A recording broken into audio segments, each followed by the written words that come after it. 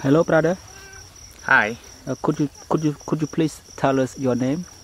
my name is Som Nang, and um, I am the um, executive um, operators at the uh, Biodiversity Conservation uh, Project. Great. Mhm. So, what are you doing here? Well, uh, tonight is a great activities that we wanted to promote to um, uh, people in the whole Cambodia and to the outside world. That we just do the camping activities.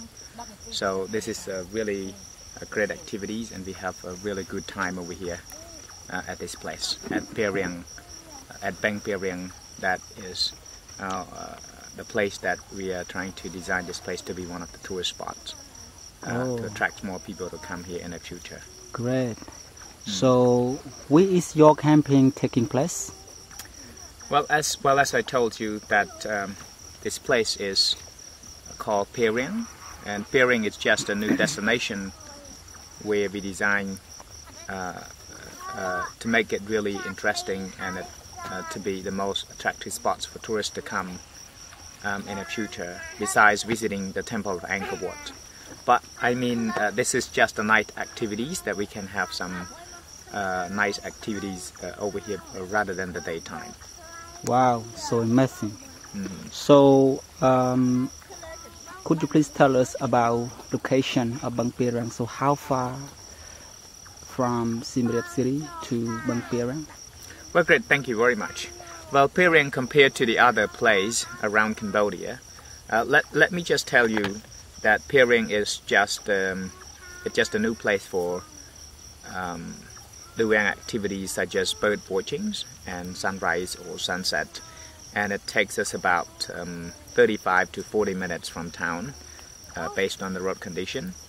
Um, actually, this place was just located to the south of Siem Reap provincial town for just about 13 kilometers away. Oh, wow. So, very close.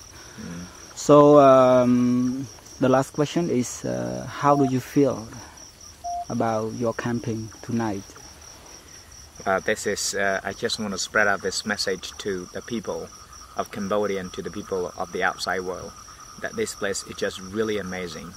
And uh, I mean, uh, coming to this place, you can hear uh, different sounds of nature, like fish and uh, birds, and um, you know, um, this is a really beautiful atmosphere I've ever done in my life, and this is such a really, really great spot. Especially, um, you know, we spend uh, sometimes, you know, before setting up our camp, uh, our camping spot, and we just went out to uh, do bird watching like before, you know, especially once the birds are, are getting into a sleeping spot, and then Wow. the sunsets is just amazing. So I really love this place, and uh, I would also like to invite you all to come and spend a night with us. Uh, you know, some nights if you're willing to come in the future. But this is uh, this is a really safe place, and it's such a good environment at night time.